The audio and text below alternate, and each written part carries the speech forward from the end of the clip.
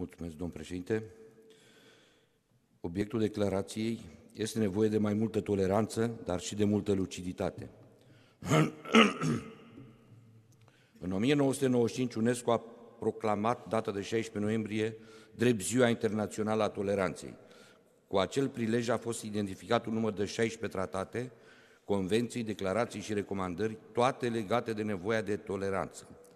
Declarația principiilor toleranței, care a fost enunțată în 1986 la Paris, în cadrul întrunirii reprezentanților UNESCO, definește fără echivoc acest termen. Toleranța este responsabilitatea care susține drepturile omului, pluralismul, democrația și statul de drept.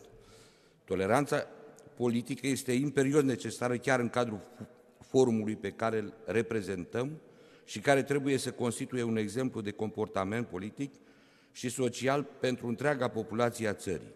Servirea interesului general trebuie să rămână obiectivul nostru constant, nealterat în vreun fel de contradicțiile pe care le pot provoca diferențele doctrinare sau interesele partinice.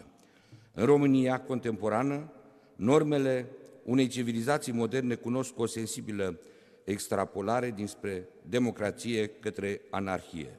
Ne confruntăm prea des cu opinii intransigente ale unor politicieni capabili de să critique orice, oricând, dar incapabili să prezinte soluții rezonabile pentru redresarea erorilor pe care pretind că le-au constatat.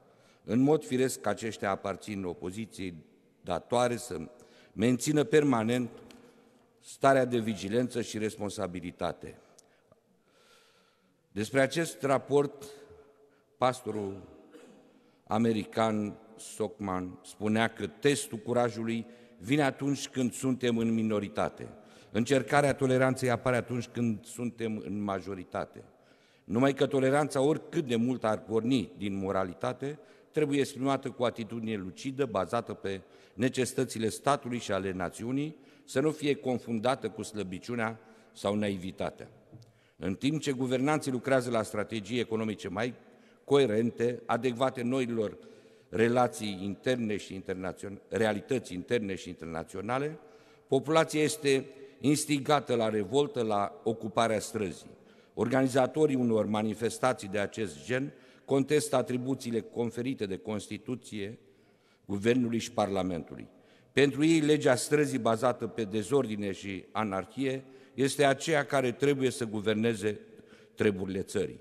Autoritatea statului este privită ca un surogat, iar statul de drept este recunoscut sau nu în funcție de interesele statului paralel, despre a cărui existență se discută frecvent, uneori cu probe irefutabile în mass media. Ori statul de drept, stimați colegi, nu poate fi decât statul oficial recunoscut prin lege. Legea trebuie să rămână strictă și dreaptă.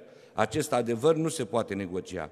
În această privință nu există loc pentru toleranță. Are și toleranța limitele și ei raționale.